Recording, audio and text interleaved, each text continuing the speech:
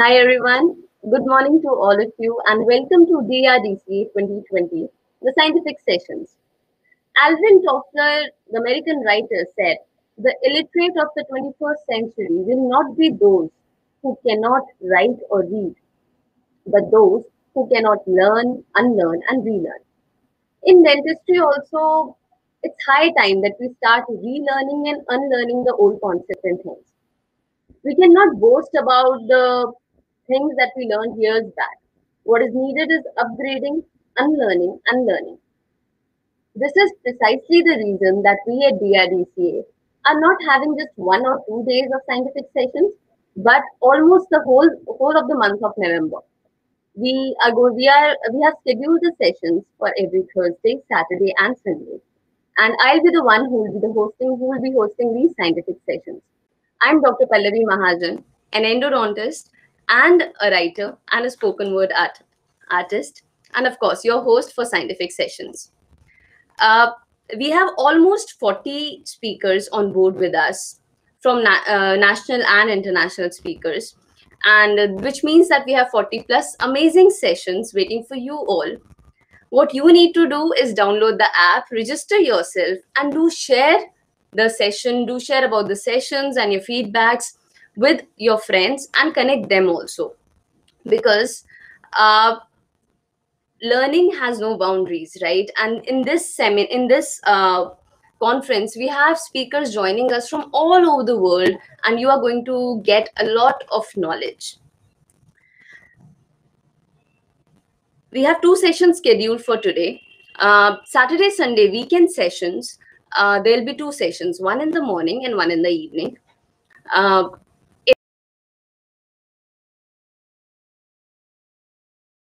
just evening today two sessions are there the first speaker that we have is dr sigal jacobson she uh, will be taking the morning session and in evening we have dr rajesh ravindranathan do share this with your friends uh, because there are chances that you might uh, win a Novolace laser machine. Now there's a lucky draw contest, lucky draw that is happening. Yeah, you can see on your screen. This is the machine that you might win in the lucky draw. The rules are the lucky draw rules are as follows. You must attend and engage all live scientific sessions, which means that you have to share it with your friends, invite your friends, comment when the speaker is speaking, and definitely put your questions also. You have to participate in any one contest. Contest details are there on DRDCA page as well as app. You have to install Eventi app and then enter DRDCA 2020 event. You have to subscribe to the newsletter, join the FB group of DRDCA. All proofs and screenshots must be emailed to drdca2020 at the rate of gmail.com for qualification. if you're not able to follow the rules, you can still go to DRDCA page and all the rules and every detail is there. The first speaker that we have today is Dr. Sigal Jacobson. She's joining us from Australia. She's an aesthetic dentist and founder of Uveneer and Paladex System. Dr. Jacobson is an internationally acclaimed lecturer with more than 25 years, right, 25 years of experience in aesthetic dentistry. She has been recognized as one of the top 25 women in dentistry. She is a key opinion leader for major multinational dental companies like GC and UltraDent. The most important and interesting part is that uh, apart from being a dentist and lecturer, as I mentioned, she's the founder and event inventor of this amazing Uveneer uh, system. It is a unique template system for creating direct composite restorations in the aesthetic zone. Dr. Jacobson is also a member of the Australian Academy of Dentofacial Aesthetics, a member of American Association of Women Dentists, a member of the American Academy of Aesthetic Dentistry, a member of the Dental Speaker Bureau. She, in this lecture, she is going to teach us basically how to create beautiful and durable composite restorations in the aesthetic zone with the Uveneer system. The new technique to create a freehand veneers will result in um, amazement to your patients. Um, that will make your patients your biggest fan. So yeah, uh, please join hands and uh, let's welcome virtually. Let's clap and let's welcome Dr. Sigal Jacobson on screen. A very good morning to. I think th- there the time is four o'clock, right? Yes, we are in Melbourne, Australia, and it's uh, four uh, four thirty eight in the afternoon. Okay, so good afternoon to you. How's the weather there weather here actually today is really nice. It's a sunny day. Okay. Uh, we just uh, finished winter and we're going into summer. Oh, that's nice. It's always good to connect like this. Over to you, Dr. Jacobson. And um I am looking forward to this lecture. Thank you. Me too. And I'm very excited to be lecturing. I think to hundreds of dentists right now. yeah. Um, we are DCA. Um, thank you for inviting me. And uh, I would like to share with you uh, some tips, some tricks uh, for my lecture. So basically, uh, I run lectures that go for six hours. Today, we're only going to have about 45 to one hour uh, minutes to one hour, which uh, I'm going to give you the highlights, some highlights and tip and tricks for my six hour lectures. And if you have any question afterwards, I would love to hear it. We're going to talk about composite veneer in the anterior area. Uh, and then I'll show you how to work with the, the new system Uveneer, the Uveneer extra, which is new, another kit we added to the system, uh, and uh, some Paladex and other uh, things that I think you will uh, be interested to, to learn and see what's uh, new in the innovation of composites. Uh, because the composite as a material develops a lot in the latest years. And I think uh, we also need to develop and improve with our method so it will not be so difficult. We want to do it simple, enjoyable, more efficient, the whole bonding uh, and anterior veneers system. So we can start with the, the lecture right now. Again, thank you for joining me. Um, and I'm going uh, to start with a survey. A survey in the USA in 2015 uh, showed that one in four people avoid smiling due to the condition of their mouth and teeth. Uh, 59% says it's the cost, why they didn't uh, go and fix it. Uh, some are afraid of the dentist, but mainly from the cost. Those are the cases that are here right now on the screen uh, they come they came to my uh, clinic and i wasn't the first dentist who saw them obviously they're not young kids and why those patients were not attended up till now with any dentist that they, they've seen why do they have to uh, walk with their when they smile and cover their smile when the solution is so simple and i think the answer is many dentists they think that they have to do the full porcelain work because if they will do any composite bonding, it's an inferior solution to porcelain. And, uh, and I think that there are missing opportunities. Uh, of course, uh, earning opportunities as well, because every patient, almost every patient, or in the survey they say one in uh, four patients come to your clinic. This is an opportunity for you increase your income, but it's a great opportunity also to make those people happy. and uh, I think it's very important as a dentist to understand that we have a role in making our people happy, which will make them more healthy uh, and confident. Uh, so, but as we said, a lot of dentists, they dentists they think that if they will do the porcelain veneer, they give them the best, and it's like I want to drive Ferrari and I will not drive Kia. I will not give you, but they Kia is as well is good. It doesn't mean that you have to just give them porcelain veneer. They are more expensive and they have their downsides as well. So I'm going to talk to you about the differences between the porcelain veneer and the composite veneer in this slide. With porcelain veneer, we have to reduce uh, tooth structure. Yes, it is minimally invasive, and yes, we don't have to remove a lot, but we still have to reduce from incisal area at least 1.5 millimeters. With composite veneers, sometimes I don't even reduce nothing from the teeth. There is no reduction. Uh, it's called additive dentistry. Porcelain veneer, I have to do set of teeth. Uh, with composite veneer, I can do one tooth. I can do half a tooth because composite material breaks the light. The light, when it, the refraction of the light is more natural, like the our enamel, where porcelain veneer is not. That's why we have to do six or even ten.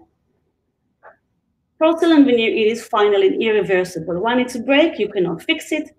With the veneer with the composite, it's a phase procedure. They can always change to porcelain veneer in the future and uh, it's great with young people or people who don't want to do six teeth. They just want uh, one tooth. And if it's break, we can fix it in the mouth, which is less of a problem.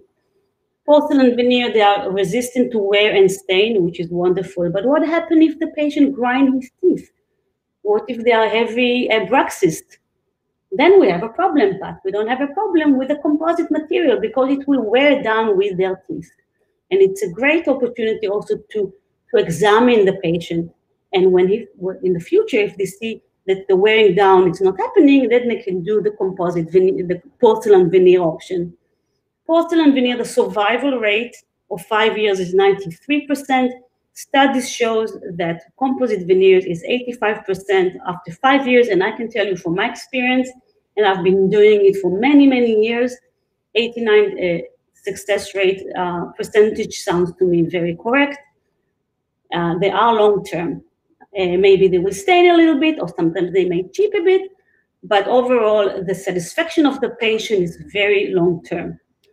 Uh, and of course, the biggest thing, the cost. Uh, the porcelain veneer costs about four to five times more than the composite veneers. So they are less affordable. That means we have less uh, acceptance from our patients. Downside, contraindication of porcelain veneer when a patient comes with high caries susceptibility. I would prefer to do composite work. If they're very young, if they have a periodontal disease, why would they uh, invest in uh, teeth that in few years probably going to come out and have implants? Uh, in single tooth case, it's very hard unless you have the best laboratory to do one porcelain veneer uh, to, to compare it to the rest of the dentition. And even if you do one, in the future, the teeth, the natural teeth will change the color and the porcelain will stay out and it will be very obvious that it is there. And of course, the contraindication of financial if patient cannot afford it. With composite veneers, there is hardly any contraindication. The biggest one, if they don't have enough uh, enamel to bond, of course, because we are relying on bonding, whereas porcelain veneer we can do kind, kind of crown veneers and we can have more retention, a different retention than bond, mechanical retention. Uh, and of course, we, when I have a patient with high expectation, when they come to the clinic and they say, I want the Hollywood white teeth that will stay for long term, uh, I wouldn't uh, recommend to promise them and give them composite veneer. First of all, composite veneer, they look more natural than not that Hollywood. uh, and also uh, long term, they will come down a little bit with the color. But it's still great if they still want a porcelain veneer later, they can change into it. The problem with composite veneer, they have a lot of benefits, but it's a very challenging procedure. As, as you see, this case, uh, can everybody, dentists are doing it, you know that this can take two to three hours to do. And this was my problem as well. I wanted to find a way to make it more efficient and faster. And I tried a lot of things in the market and I couldn't find. So I decided to invent it myself. And that's the Uveneer system which is a template system to create direct composite veneers, mock-ups, even temporaries for your porcelain work. And uh, in this lecture, I will show you a lot of things, how to work with the Uveneer system, but it's not enough to have the Uveneer. You have to know how to, there's other steps in order to get the perfect restoration. And these are the steps that we're gonna uh, touch today in this lecture you have to be able as a dentist to evaluate the aesthetic issues of patients when they come to you. You have to look at the pink and the white. Pink means the gum aesthetics and the white. And then you will you will be able to and you will have to know how to convert it into treatment. Giving the patient all the options and not give them only on the options. You have to know to do the options. And if you don't know how to do the option, if you don't do, for example, orthodontics, you have to have a team to refer to. Uh, in order to evaluate the aesthetic issue, you need to be familiar with the smile design rules if you want to be a cosmetic dentist. And you know, you have to know how to master all these treatment options. Second thing is the planning. What is the shade selection, the right composite? How to do a mock-up to plan to be predictable also, the correct preparation. How do I prepare a tooth for composite? They don't really teach us that in school. Eh, and always think minimally invasive. How to execute, how to do the, the isolation, the bonding, the curing light. Eh, all of this I'll show you as well. And of course, the final occlusion tuning, which is very important as well. Let's start with the first thing. So, how do I approach a patient and I con- how do I convert them into cosmetic work? And I'm talking about the new patients, the one that just came to your clinic, not for, comp- for, for aesthetic issues, just for a regular checkup. You will see that they're af- afraid to smile. You will see the aesthetic issue. How you will approach them without sounding that you are trying to oversell or you, you will embarrass them. So I'll give you some tips. If a patient comes to you with one, let's say one of those uh, issues, um, have a photo album in the waiting room, if it's your work or even other people work, uh, to show them what you can do, show them what's porcelain veneer, what's composite veneers before and after. When they sit outside, they see what you can offer. You have to show them TV if you have a TV, or just a simple photo album of before and after. When a patient comes to your clinic, on the history form, I have two questions. Then this helps me a lot. Are you satisfied with your smile? And then they tick yes or no. Or do you show your teeth when you smile? And those two questions are important for me because when they come to the room, this opened the conversations. Oh, Mr. Cohen, you're not satisfied with your smile. I see you ticked, so you're not. Maybe we'll talk about it after we finish our treatment. And it's very important. You do not offer them any aesthetic treatment plan before you gain their trust. You don't want to start overselling. They come for another problem, treat the problem. They will trust you, they will gain your trust, and then start talking about their issues. And also, don't use negative words. I always use positive words. I will compliment them before, and I will say, I will not say, I want your teeth are yellow. I'll say, we can brighten your smile. So don't because they will remember what you made them feel and they will not remember uh, what you actually uh, what's the problem how they can fix it. Then i do and this is very important in this lecture i'll show you i will repeat these things in, during this lecture a few times. Mock-ups. You will uh, the best thing and i recommend you take some composite apply directly on the gap on the yellow tooth on the intruded tooth on, on the aesthetic issue and build up the composite with a mock-up. You'll get better with and faster as you go because this takes experience. You can also use the veneer. Then when once they see that you close and don't bond, this is just like like a prototype. Instead of using the the uh, smile design and uh, technology that we have, we can do it directly on the mouth, and then they can take the video of themselves with an iPhone, and then you remove it, you flip it out, and it's here you have before and after. And I can tell you that 90% of the patient, when I do direct mock-up, and then they see that this is actually not an expensive procedure, I have uh, I have this uh, uh, job, and for sure, 90% of the patient they will come and they will do it. You have to suggest them all the treatment option from less invasive to more invasive. And so, what is the best treatment plan uh, for the aesthetic issue? I call it the ABC. And because my aim is to satisfy the patient requirements with minimal tooth uh, reduction and destruction. And what is the ABC? I will always uh, offer them to align their teeth first. Let's go back to the slide before, sorry.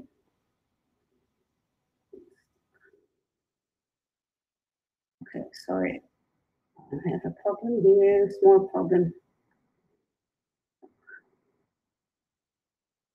Okay, one second, let's go back. By the way, guys, you can take uh, your camera and because I will come up with few tips that, uh, especially with some material that maybe you want to take a camera and, and take a shot of this. So what is the ABC? I will always start with aligning the teeth, even if the patient says, I don't want to uh, braces, I don't want Invisalign, it's too expensive. Uh, I don't see myself going now with two years with treatments. Then I will offer them maybe to bleach. Maybe this will help the aesthetic issue, or I can do combination of those two. And if they this will not satisfy the requirement, the next thing I will suggest is composite, from minimally to more invasive. And only after I exhausted those three options, I will go to the invasive and I will uh, cut teeth and of course do the porcelain, which is still minimally invasive. I'm not doing crowns, I'm doing veneers. And I'll show you this ABC on those two cases. Um, the first case is she came to my clinic, uh, her teeth were not uh, white enough, she was not happy with her smile, one tooth was intruded and one was chipped. Uh, other dentists, they uh, offered her six porcelain veneers and I offered her again ABC align. She didn't agree. So we bleached hair, and then I did only one new veneer, composite veneers on tooth number one, two, and small correction of the chip. She was very happy. She referred me a lot of patients. So don't think that you're losing money. You will gain money by doing those small uh, corrections. They call mini smile enhancements. The other thing as well, this uh, girl, she came to me uh, with, the, obviously you see the problems, and uh, with two composite veneers only and a little bit composite on the incisal of the centrals, we created this harmonized and very natural looking smile.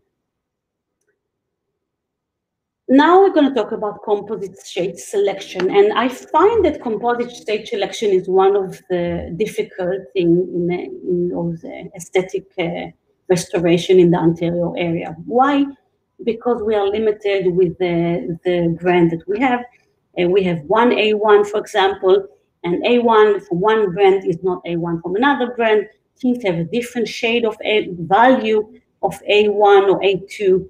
And sometimes we finish the case, which is beautiful. We, we done the, the, all the anatomical and the color is wrong. So I'll show you, uh, I will show you some of the tips that I, uh, that if you follow them, I most probably you will get the best blending of the composite with the tooth.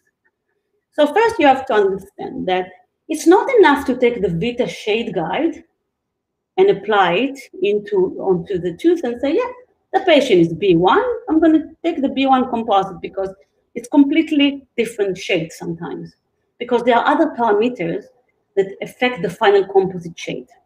First of all, the underlying tooth and the reflection of the mouth, the dark reflection on the mouth, if it's broken, or the underlying tooth, it will affect the, the final color of your composite.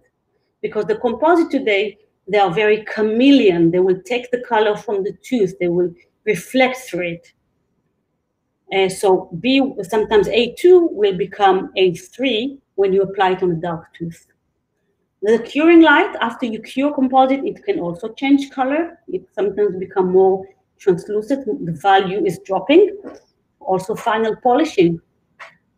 The thickness, how much thickness of composite we apply, this will affect the final color.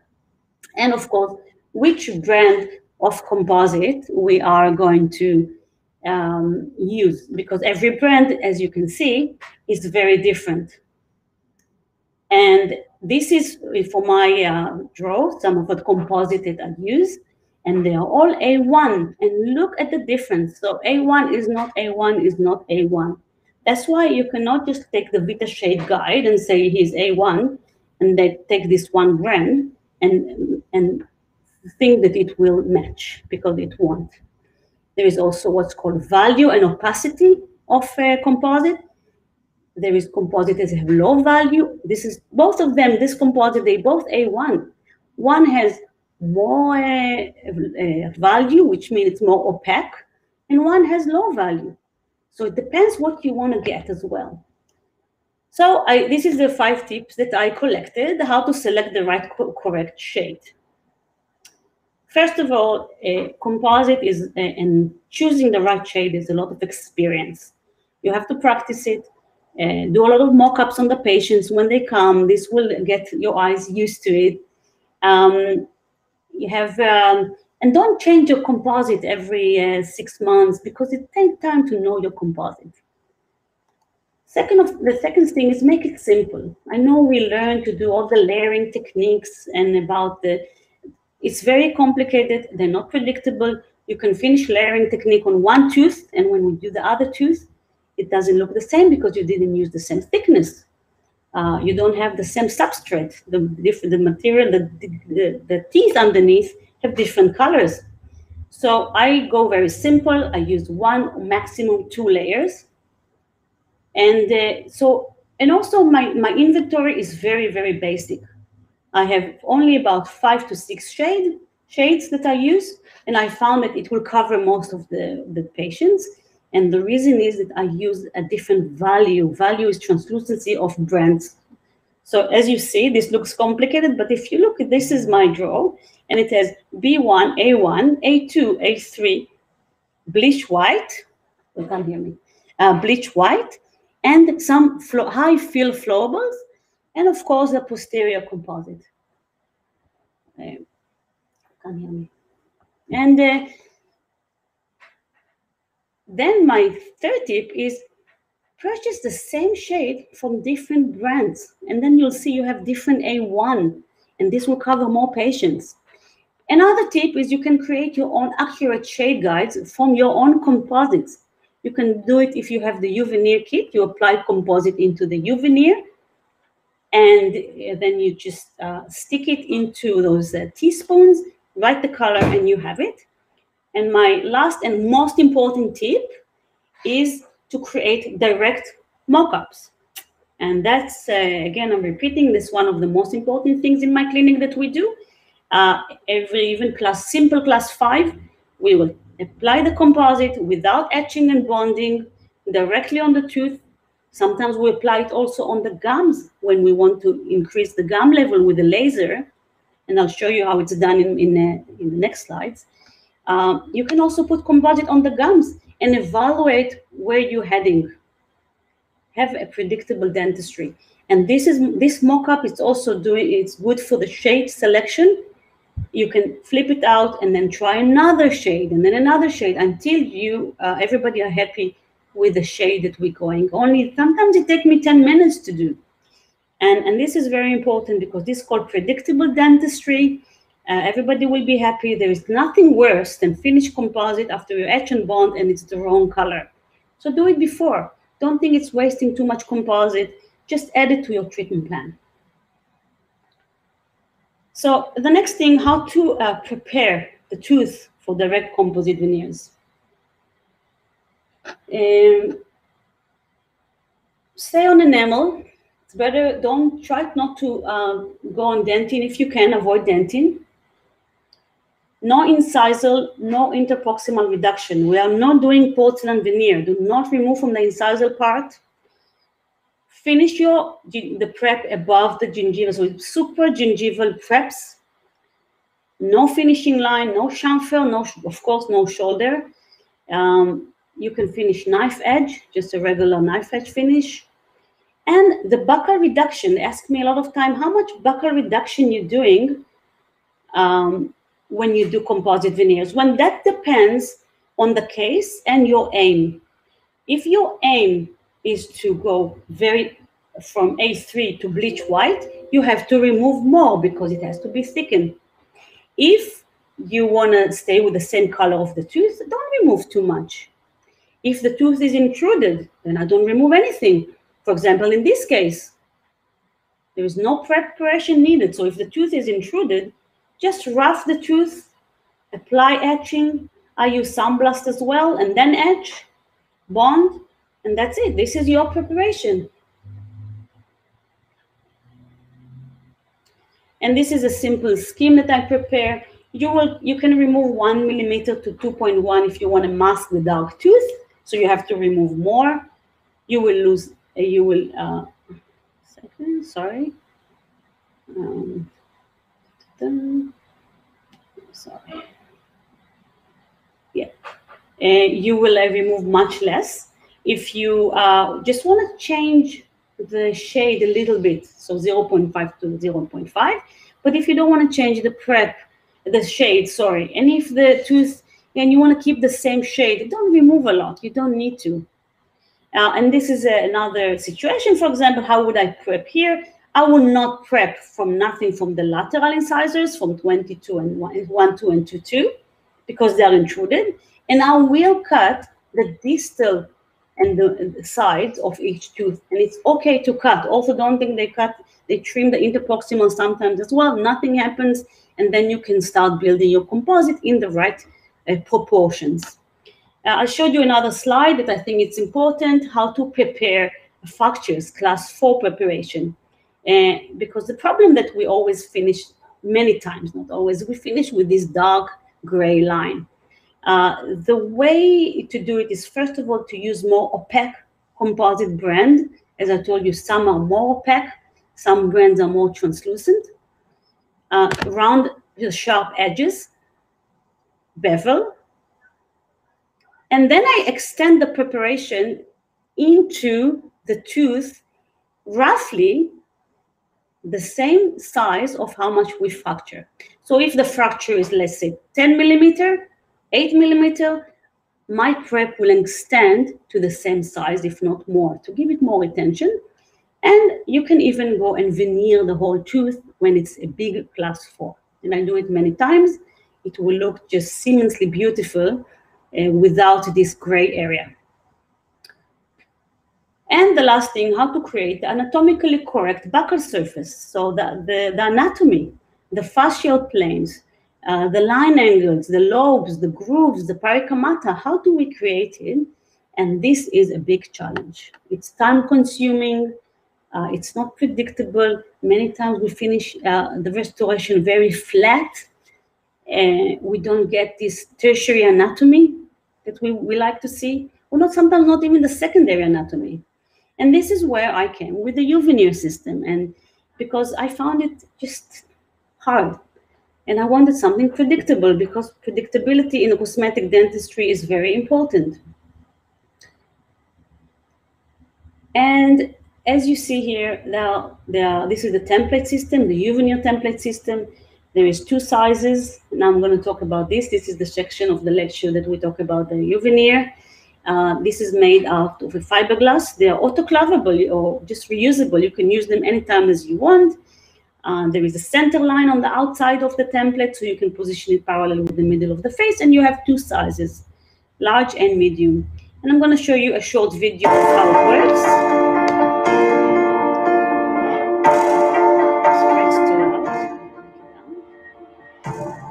And this is the Uveneer system, premolar, two premolar, maxillary and mandibular teeth. So of course you remove the caries and you rough the tooth. You will rough it with a diamond burr, curve course diamond burr, and you apply separation between the teeth. Then you etch enamel. You you, you must etch uh, more than 15 seconds, and then till less than 15 seconds, and you apply the curing light for 10 seconds. After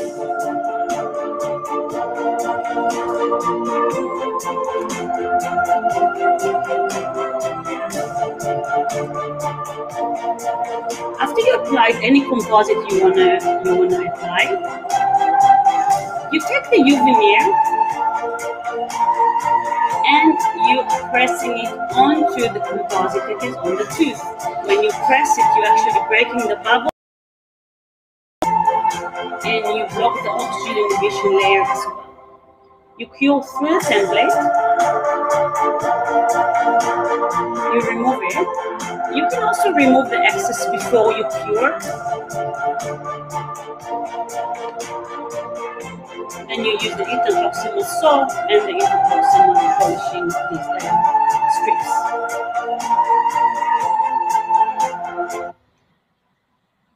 The Uveneer has the Uveneer has two sizes. It has the large and it has the medium, and that's the original kit. We're going to have now. I'll show you the new kit, but the original kit uh, has large and medium, premolar to premolar, including the second premolar. So you can actually do ten teeth, uh, upper and lower teeth, and then another. The second row is the medium, again the same thing. So this pretty much will cover many many cases because it's according to the smile design rules. And it's as you said it's reusable. Uh, it has a non-stick surface so it will never stick to your composite. It has a center line on the outside of course not on the inside. Um, it's very durable material. If you lose one you can order single and they're all based on the smile design proportions, which usually it's um, when the smile design proportion is the central. It's coming. in. Sorry, guys, I have to. No, it's keep coming like that. Second. I'm sorry about this. So as we said, each template is according to the smile design rules and proportions, which means central incisors, all it's all starting from the central incisors are uh, usually will be, when I say usually according to the small design rules, the beauty will be 10.4 millimeter to 11.2 millimeter for the central incisors. And this is the length. And the width will be 80%. So it will be about 8 millimeters Another thing with the template, we're actually blocking the oxygen inhibition layer. And what is the oxygen inhibition layer? It's basically when we are curing composite, the oxygen will interfere. If it's not blocked with anything like glycerin, uh, and this is going to create a sticky surface because not of the monomer become polymers. And the thing about that, that if you don't block the oxygen inhibition layer, it will stain more and it will wear more. So even if you have, if you don't have the Uveneer, you should apply some glycerin or just polishing away, polish this layer. The second layer that didn't touch the oxygen will be actually the layer that will not stain. With the Uveneer, because you block the oxygen inhibition layer, there is no problem. What do I use for interproximal separation? I use the matrix, which is cellulose strips the metal matrix, Teflon tape, and in many cases, I don't even use uh, anything. I just use an in, interproximal carver, and I'll show you, and then I'll use my saw. Do I use rubber dam or not? Do I use wedged retraction cord? And this question that a lot of time I'm getting, I don't use wedges because I find that they create black triangle and they will control where my composite will go. Um, I, with the Uveneer, you don't really need. You will have the embrasure that coming out from the gums with the Uveneer. Uh, rubber dam, of course, the highlights of uh, isolation today and the gold standard is to have a rubber dam.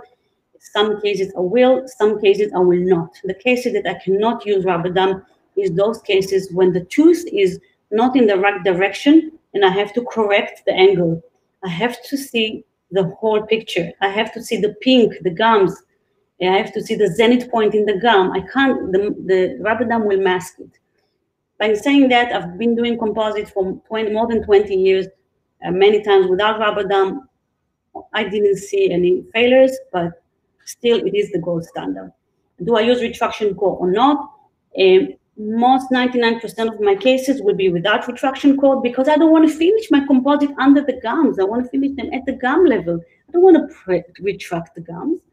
Plus, when I remove the cord, many times you get bleedings, and those bleedings are going to stain uh, the peripheral area of, of, the composite and the gum at the gum level. So bleeding is not so uh, good when you do the first 24 hours of the bonding. What can you use the Uveneer for? It's not only for direct veneer. You can use them for mock-up. You can use them for provisional. Uh, you can use them from guide, guide for your gum lift if you have laser or scalpel. And I'll show you this in the next slide as well, some cases. So let's start with some real cases. When I do uh, any composite veneers with Uveneer or without Uveneers, I mainly try to do only the upper teeth and at the lowers, I try to bleach if possible. Um, the upper teeth, composite veneers, they doesn't get any occlusion on top, so they will uh, fracture much less. The lower one might chip more, but you can still do the lower one with the Uveneer or with any composite veneers, but with with the upper uh, jaw, I can see much, much higher success rates. So this case is called reverse smile. As you can see, her smile is not following her lower lip, doesn't have the curve. Those teeth are intruded, so you hardly need to, to um, and we only did two teeth, they, they did only two teeth here, they are intruded. You choose which template it is, the medium or the large. It's very easy to choose because you just apply them on the tooth and you see that it's covering the distal and the mesial. The length usually is something determined by a by the patients later if they wanted to ideal um, proportion or they want them shorter. Just take your disc and then you can cut them. Uh, so you rough the surface first. Uh, sandblast it. I, I, use the sandblast. You don't have to, but it's really nice if you can sandblast. It increase your bonding. Uh, you create uh, etching for 15 seconds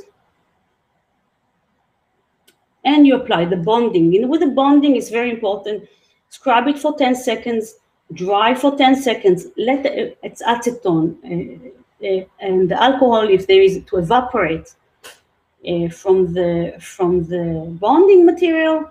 And then when the surface is glossy, then you can cure it. I use the universal bonding system. Uh, I use the one from Bisco, and and uh, because it has the 10-MDP, it's a chemical bonding in case you have any dentin exposed. It's amazing how to create the halo effect with the veneer. So first I apply the dentin layer or the more masking, and then I apply a little bit triangle uh, to create the halo effect before you cure. Then you apply a little bit of high fill flow. I like to use the Genial Universal Injectable by GC. It's a beautiful shine. It has to be a high fill flowable so it will not stain. And I press it on top of the uncured composite that is on the tooth. In this way, I get the enamel shade and the dentin shade in one, one go. Before you cure, you can remove the excess. And this is what you cure, and then this is what you're going to get. I go with the Softflex disc and then with the buffer to, to shine the whole area you will have to understand the area that you finish will be shiny. Try not to touch the shine, just the buffer. When I use my other disc, I use just use it on the occlusion and on the palatal side.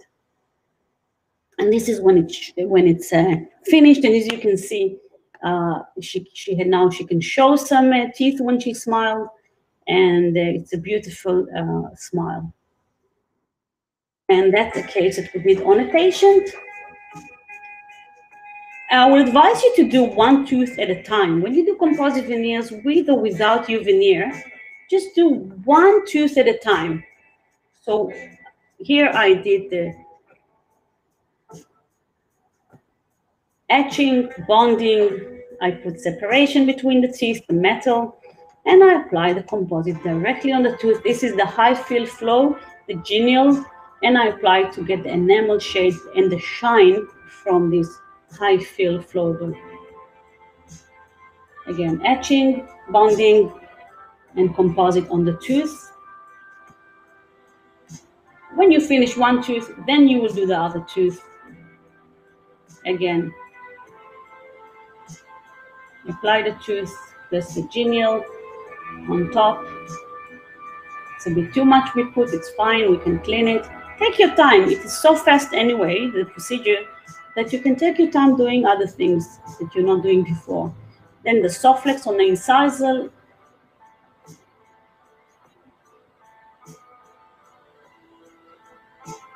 And here is a happy patient.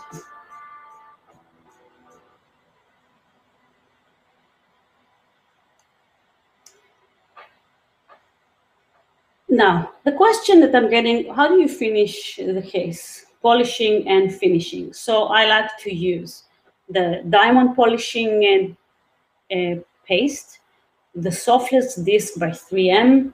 I like to use an interproximal saw between the teeth um, and uh, some on the interproximal. I like to use uh, the just very high fine polishing uh, burrs extra fine polishing burrs. By the way, studies shows that if you uh, use the buffer, which is a cotton, it's like goat hair, on any of your composite with a diamond paste, it will stain much less in the future. But there's one thing that I use all the time. It's called the interproximal carver. You can buy it in Hu-Friedy or there's other companies. I have the Cosmedent one. It's so thin, it's like paper thin and when I have this interproximal carver, uh, sometimes I don't even use the the any any any separation between the teeth. I just curve it between the teeth, and then I use my saw. You can still use the Teflon tape and the mylar strip if you choose to. You can use the veneer for as an implant dentistry provisional. If you have an implant, you can put the abutment, the temporary abutments, just take composite, apply on top, Uveneer from the back, and you can use your fingers at the, at the back, at the palatal side. Now the big thing is the mock-up. And uh, most of my cases are done with mock-ups. Most of my patients are very happy to do mock-ups, of course. They come for other things. And when we finish their treatment, I tell them, look, I want to try to see what I can do for your aesthetic issue that you mentioned when we talked about. And I'll take a little bit of composite, and it's called in-chair composite build-up, which will simulate the smile. It's done without etching, without bonding, directly on the patients. Sometimes you can explain the patient that it might not be the right shade because you don't really want to start now uh, uh, investigating the shade, but you tell them that's roughly how it's going to end up especially with gaps. It's easy. Now, this is my uh, patient, uh, Tiffany, and uh, she, as you can see, see here, I'm going to show you her case, but I used my mock-ups for motivational, for marketing tools. I, I use them for predictable dentistry. I use them for shade and shape selection. As we said, predictable dentistry again, and as a communication tool. I talk to the patient. What do you what do you think? Is it something you you will be happy with? Maybe they will not be happy with the regular composite. Maybe they will be so happy saying, no, let's do the composite. Let's do orthodontic. You can fix even the, the teeth. Let's do the gum lift. And in this case, I did a mock-up. This is a mock-up. You see the left. She showed her gums. She has a gummy smile. She has a short teeth. She um, she used to bite her nails. She made the teeth very short. Uh, the gum are not even. And we did a direct mock-up on top of her gums to see how she can now display less gums when she's showed and maybe bigger teeth. So that's the case before. Let's see. Somebody is on my computer. One second, sorry about this again. Okay, so as you can see, she is showing her gums.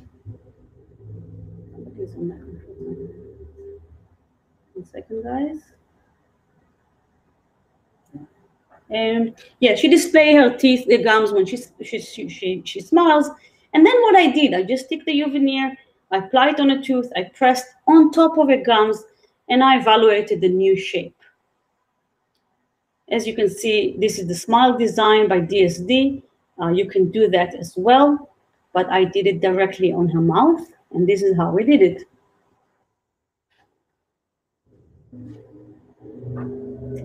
So that's the teeth that uh, she presented.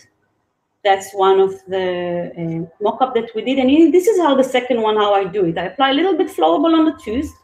I take the Uveneer and the composite already in the Uveneer. In this case, I don't apply the composite on the tooth. I apply it in the template and I cure through the templates. So again, you press the, the veneer with the composite and it will come off very easily. Some soft flex on the incisal area. Don't forget, I didn't etch and I didn't bond it. Uh, we are heading later to do some gum lift with the laser, so with the laser. So I'm going to use those templates to, to use it on the laser gum surgery as my guide. Again, I take the Uveneer and then a little bit flowable on the laterals.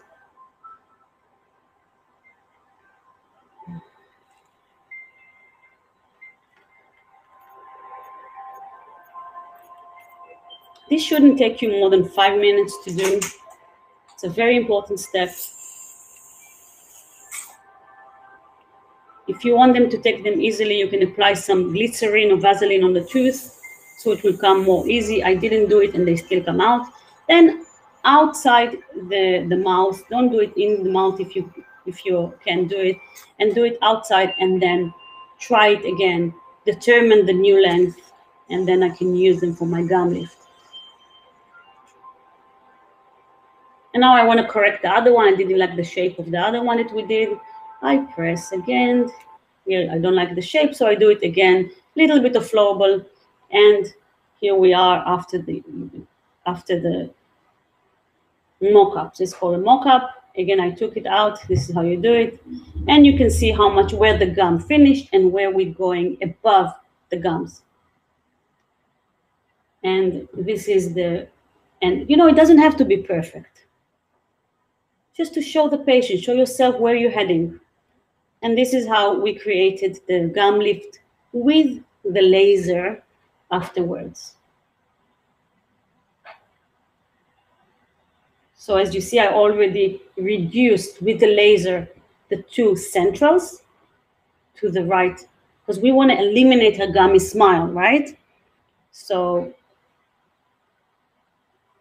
the laser is coming.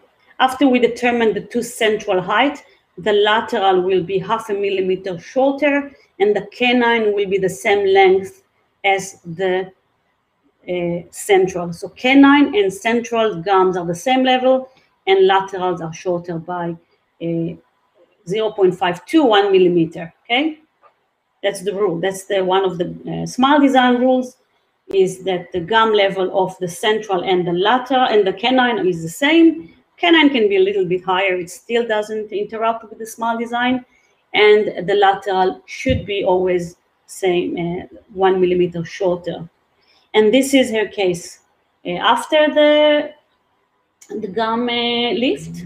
You see the teeth are longer, and she doesn't display teeth when she smiles. And the next stage, which we didn't do yet, uh, we're still waiting for a little bit of healing. It just happened last week. Uh, we are going to do, in this case, composite veneers with Uveneers. How to build the palatal side? You can use your uh, finger, okay? You take your nail and just press it, sorry, your finger, uh, and just press it over the thumb.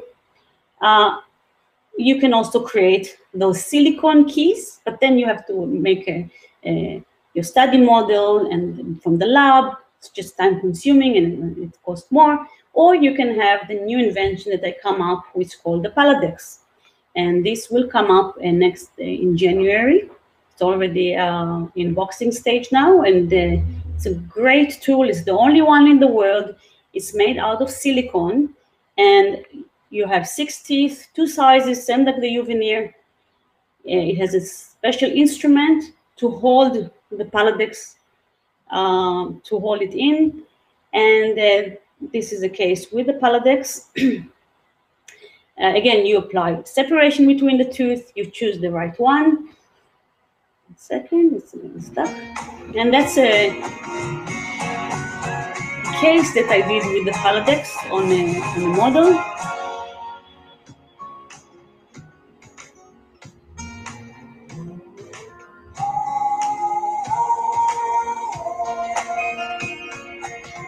I used flowable composite here. High fill flow, again, use the Genio. You apply the more opaque or the dentin uh, little bit on the distal. You create a box, some dentin, and then you can finish it with Uveneer. You can also use the Paladex to tuck, tuck composite because it's non-stick surface.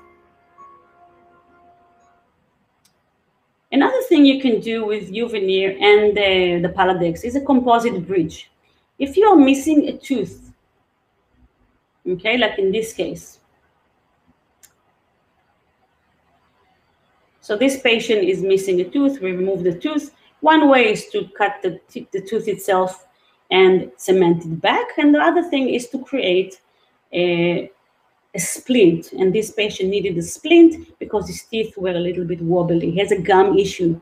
Uh, I used the Dentapreg, and I attached it with flowable composite after etching and bonding, of course, uh, all of the teeth.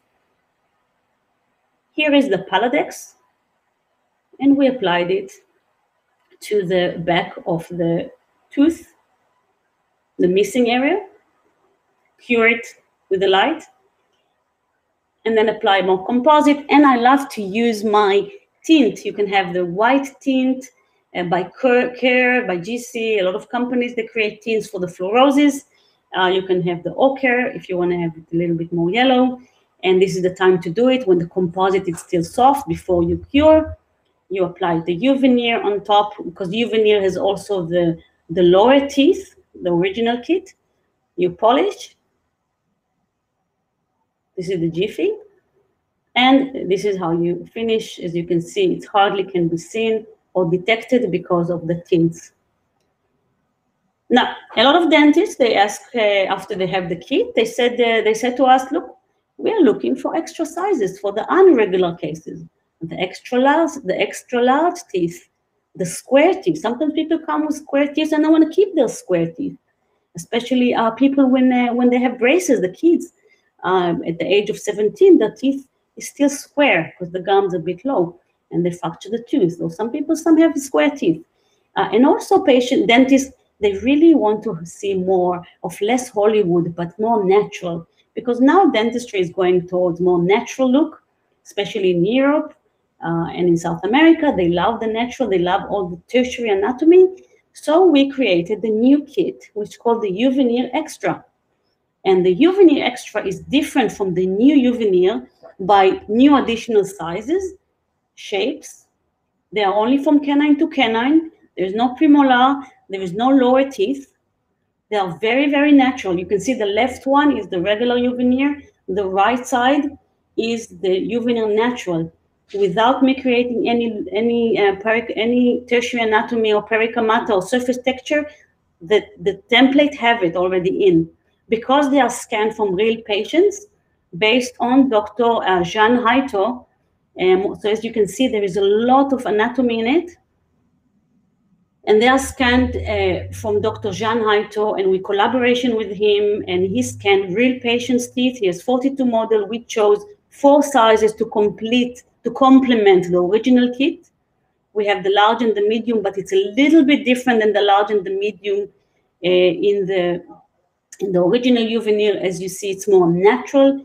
Um, and uh, this is the four sizes. You have extra large, large, medium, and square. Uh, if you have the Uveneer and the Uveneer Extra, this pretty much will cover most of your patients. And if the patient doesn't want this anatomy, you just you can uh, just polish it off, because not a lot of patients they want to see this uh, lobes and interesting natural stuff that come in. We love it as a dentist. Sometimes patients don't really like it. Uh, so you have the square. This is the this is the original uh, scans. The scan from those teeth.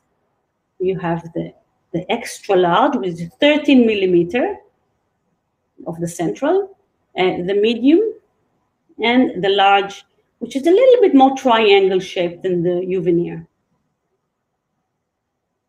And as you can see here, the, the anatomy is very, very much uh, with a lot of texture. This is another case with Uveneer Extra and another case with Uveneer Extra. And as you can see, the light breaks also very naturally. And the patient really, the first thing they'll say, oh, it looks so natural. I didn't expect my veneer to look so natural. And the last thing I'm going to show you is this case that I did uh, maybe four days ago. And, it's a beautiful lady. Uh, her teeth, as you see, they're displayed uh, with gums. They are not, uh, they, they just, each tooth go to different angle and they have gaps. So I'm going to do a gum lift with Uveneer you can use the template before, just use the templates. And and then this is before the after the gum lift, and this is 21 days after healing. Now we're ready to do the composite veneers. I use the Sandblast with Aquacare. I love Aquacare. And, and then you etch, bond. And here is the veneer Extra. I use the square one, even though we increased the gum, they were still square apply composite onto the tooth.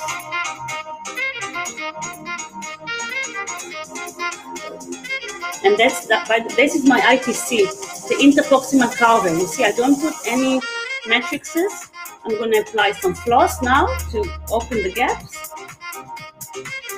Don't forget to tap on the sides where something's missing. And look how beautiful and natural shape. This is before and after.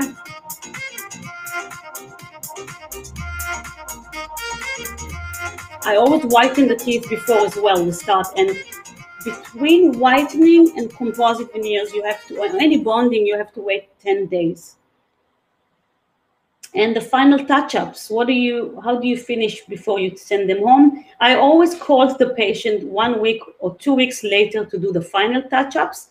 But when you just finish it at the, at the chair, avoid direct premature contact in the, in, in the intercuspal position and also create anterior guidance right and left and make sure that nothing, no tooth is uh, premature, has one contact. Just try that few teeth will contact on your uh, on your composite. Ideally, no tooth is uh, going to hit your composite. Uh, this is if you do class four. Preferably, there is no touch on your composite. Um, and sometimes it's necessary to equilibrate the opposing teeth. It's fine, patient okay with that. Uh, I always instruct them not to eat and drink any food that can stain for 24 hours and never use their teeth as a tool and if it's uh, if it chips a little bit, I explain them it might chip. It's like an add-on nails with just bonding. And if you need every six months to do a uh, um, maintenance, it's fine. They need to come for maintenance. And also, that's a very good. Uh, this is a very good tool to keep your patient inside the clinic using your hygienist, and then every six months they're coming and you can evaluate the the condition. Uh, if you want to purchase a Uveneer kit, it has in any country in the world through Ultradent dealers. Um, if you don't know where who is the dealer, you can go on uveneer.com and there is a order Uveneer and you can see all the dealers in the world. Uh, Paladex, it's still not on, but if you can email me your details, I can add you to the list. It's going to cost rough, roughly less than $300, uh, uh, the whole kit. Uh, we have an, please follow me on Instagram and if you have any question, you can mail it to sigal at uveneer.com. And we have a Facebook group with 6,000 dentists, which I share cases. Everybody can share their cases. And it's called Uveneer by Ultradent. You can add, your, you can add yourself and I will uh, join you to the group. And uh, thank you very much. And I'm ready for any question and answers.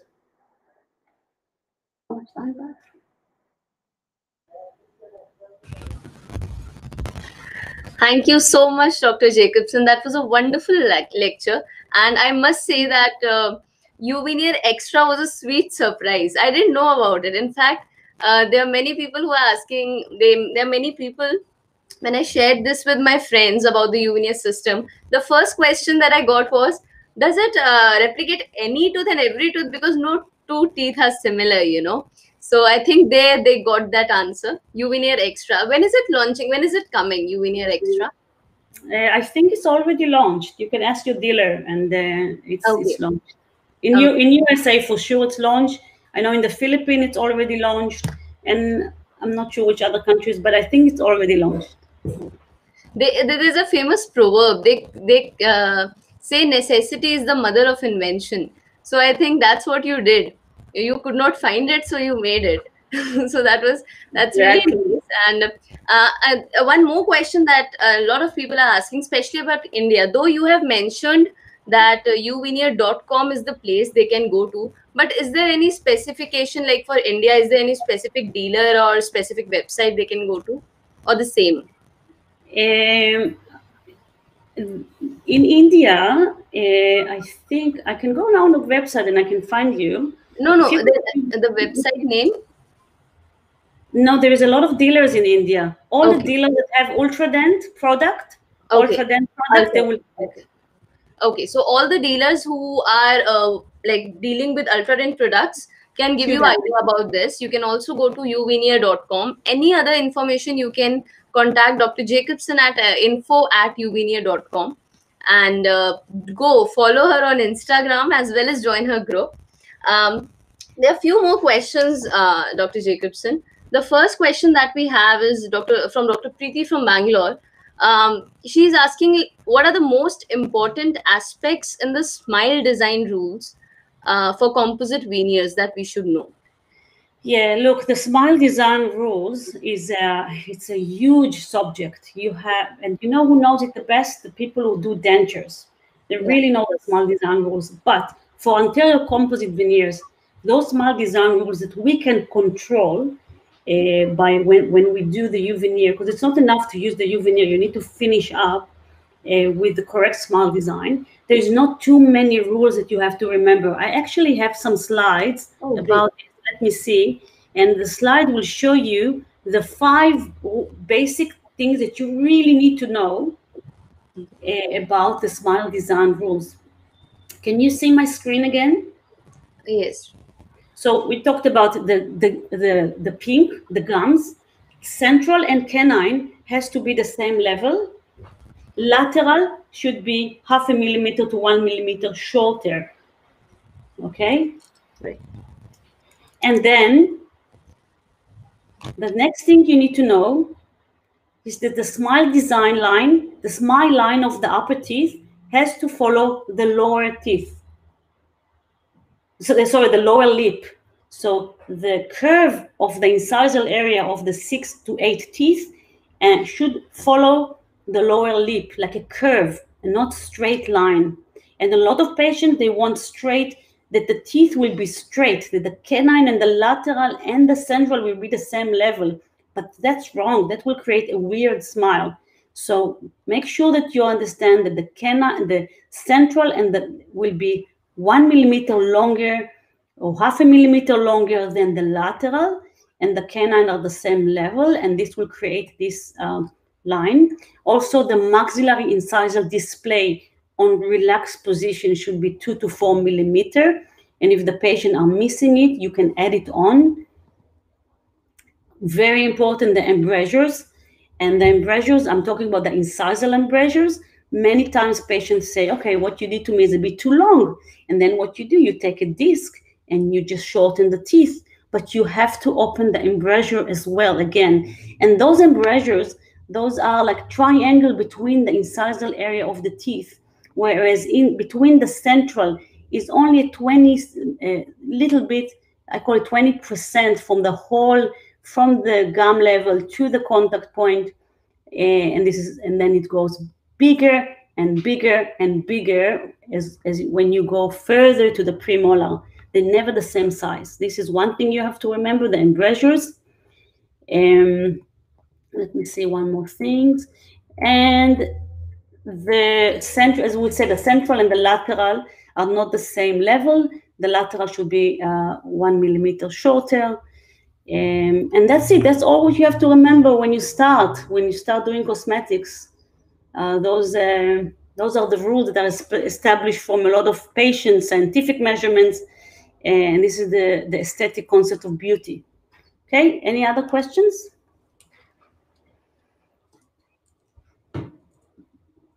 Yeah, I'm with you. Yeah, one more question is there that uh, what about the maintenance of veneer? How to maintain these veneers?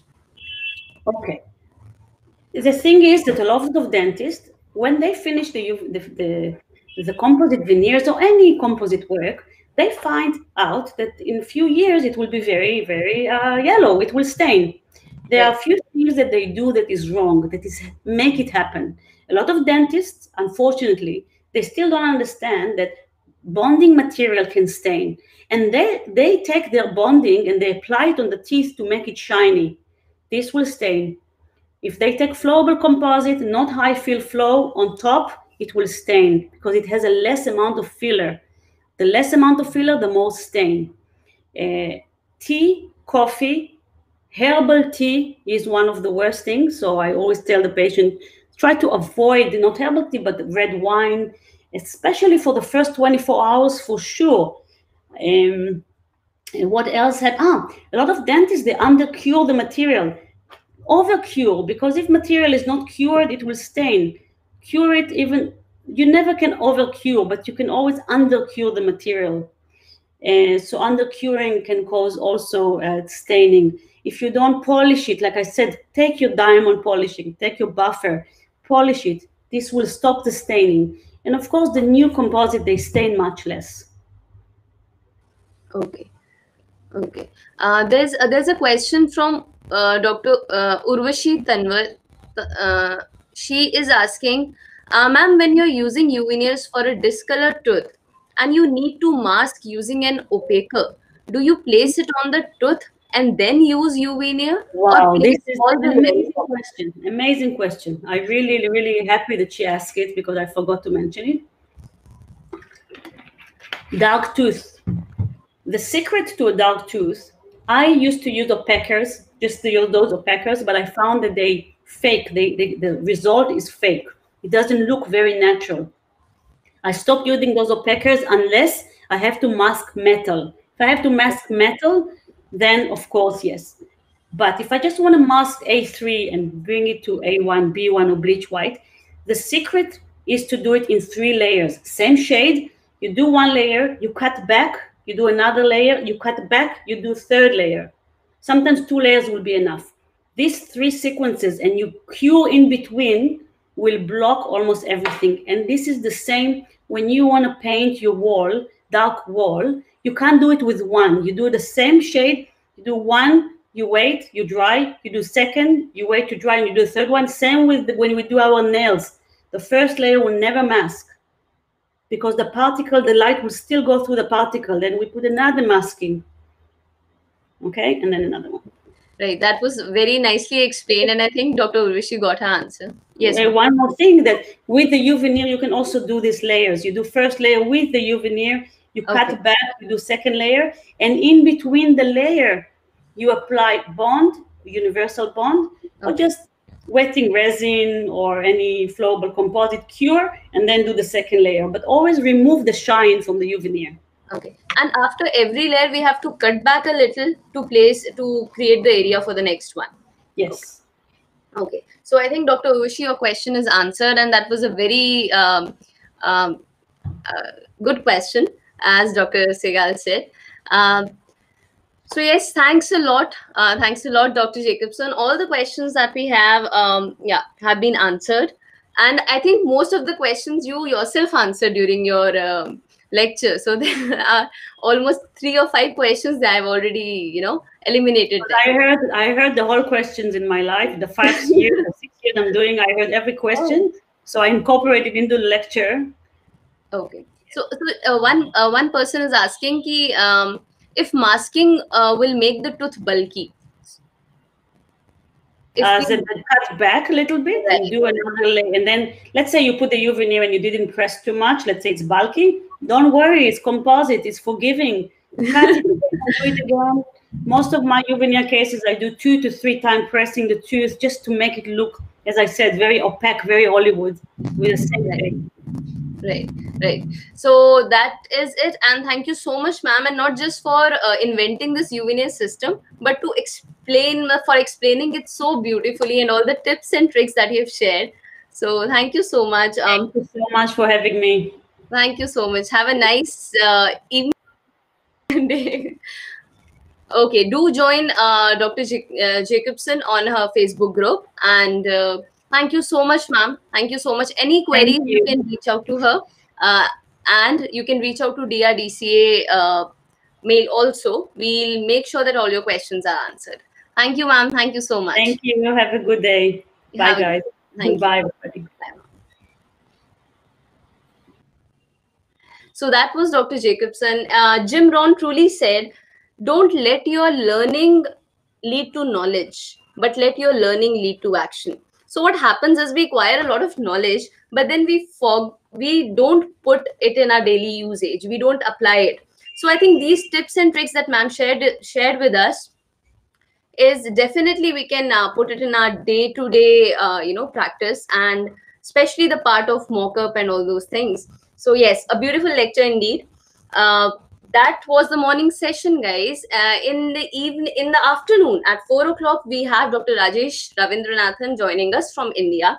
And he's going to talk about a very less discussed topic um, neuromuscular pain. So neuromuscular dentistry. So looking forward to that. Do remember do remember to download the app if you have not. Share it with your friends. Share the lecture with your friends. And join as many people as you can because this is one of the first kind of conference that is happening for one long month uh, every thursday saturday and sunday uh, today the se- next session is at 4 o'clock so go have your lunch um,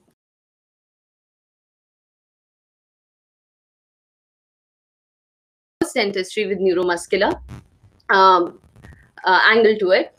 Uh, also, remember you have a chance to win Novolace. So, till the time you have in between, what you can do is download the app, register yourself, take participation, ask questions, share it with your friends, tag your friends, uh, join the FB group of DRDCA 2020, and then send these screenshots to for qualification to drdca2020 at the rate gmail.com.